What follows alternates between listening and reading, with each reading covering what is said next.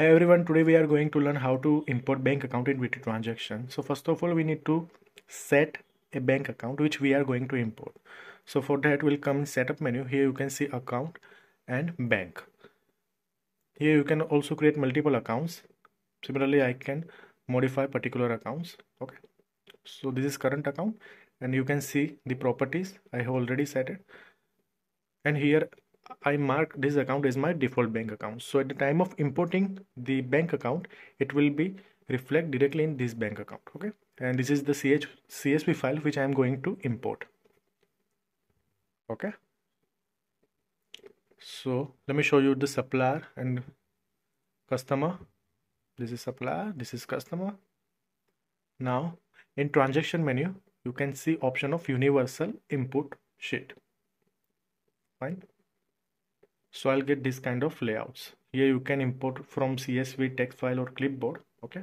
So if I click here on CSV I'll get the file okay? So here you have to select bank statement option. Now I have to do map according to the columns. So if my column has date then I have to select here date okay? As you can see and uh, unnecessary means uh, there is column which I do not require. I can click here on not imported. Okay? So it will be not going to import. So this is that. Second column is details. Similarly my debit side is for payments and credit side is for receipts. Okay and I do not require balance column. So uh, ultimately I'm going to import date, details, debit and credit. Okay.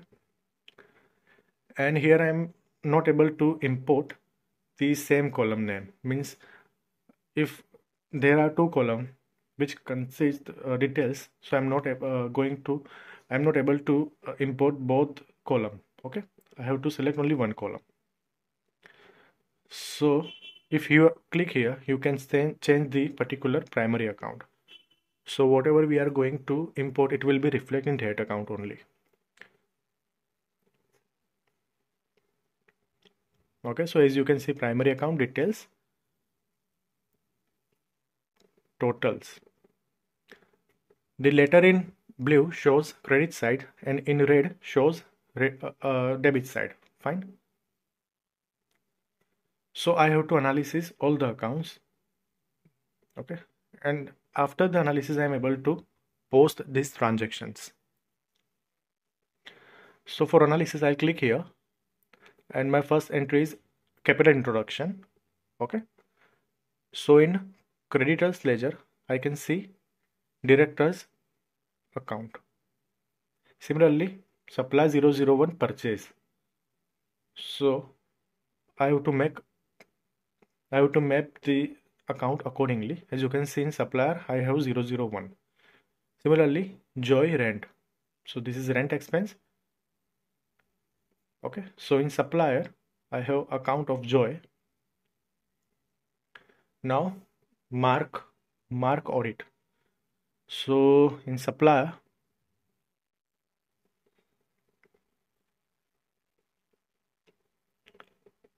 this is mark okay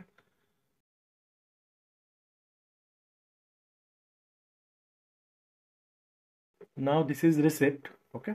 Customer 001 receipts from customer 001 so i'll select the particular customer. Similarly this is receipt from customer 002 so i'll map accordingly. Now this is bank charges. I haven't any supplier or customer here so i can map it in expense okay? Here you can see bank charges and if you wanna set up a new account then you can set up here accordingly. Okay bank charges. So this is bank interest received. So uh, in income mm, interest receivable. Okay this is petty cash. This is contra transaction. So in bank i'll select the petty cash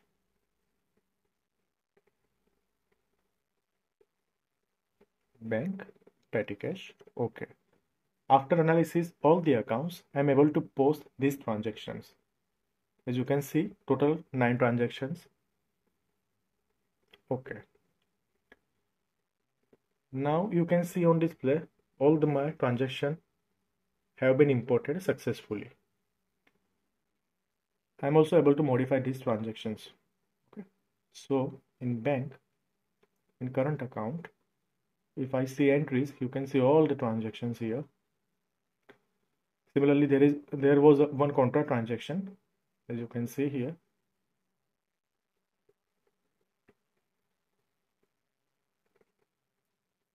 As you can see supplier account has been set off. Okay. The remaining amount of joy is pending. Fine now we have to analysis supplier as well as customers account okay? We have to set off all the accounts. So as you can see in joy if i click joy's ledger then i can see liability side 150 and asset side 100 so i have to select both the account and i'll click match associate entries okay? Similarly in mark's case as you can see. So I have to mutually associate both the transaction. Okay? So you can see it will be removed from open entries. I have already make videos on these topics earlier.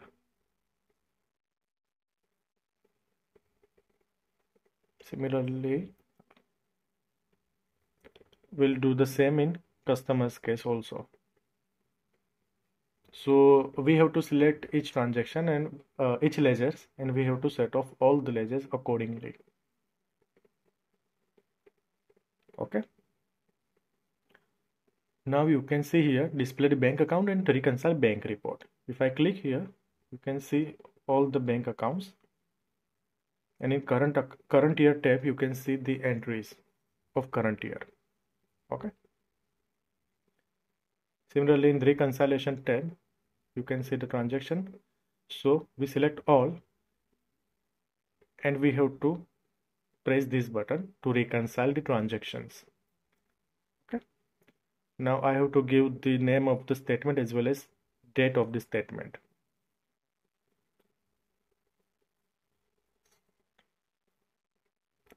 Now you can see our bank statement has been reconciled properly. If I come in current years tab, you can see the allocation marks. If I want to reverse the reconciliation process, then I'll select the, the old transaction and click this button. Okay. So it will again appear in reconciliation tab. So let's reconcile it again.